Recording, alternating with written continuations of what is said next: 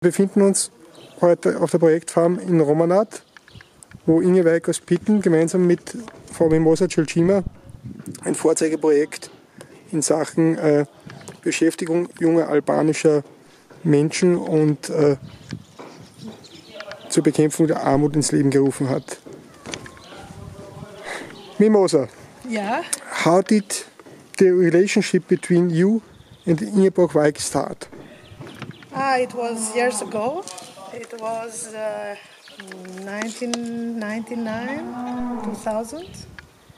I was working to CAFOD Albania. It's an association or a branch of Caritas, England Caritas. And I was working there as a project manager for ex-persecuted people in Durres, for orphans of this category, yeah.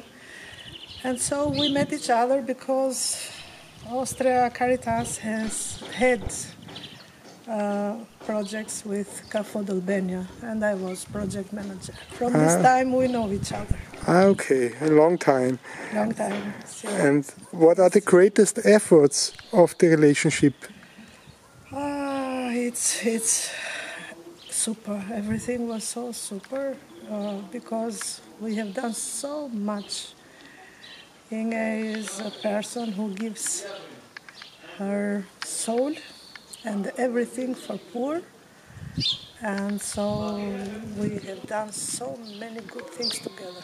For example, you For example, we, we saved people. Uh, from, they were homeless and now they have a shelter, or orphans, or um, to, to help different families in need, schools in need, in many fields.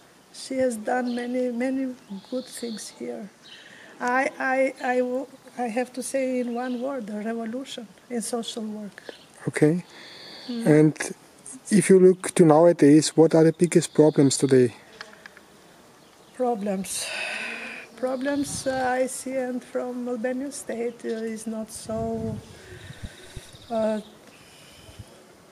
we have to work in a net, yeah. So when somebody does something, uh, another person or another public office must do something. So hand in hand with uh, state, and I don't see this uh, care from state. Okay. Uh, your greatest wish for the future?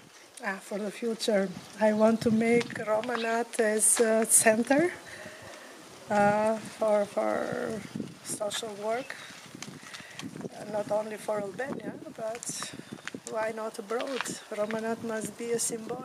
Yeah. Thank you for the interview. Thank you to you. I hope I haven't.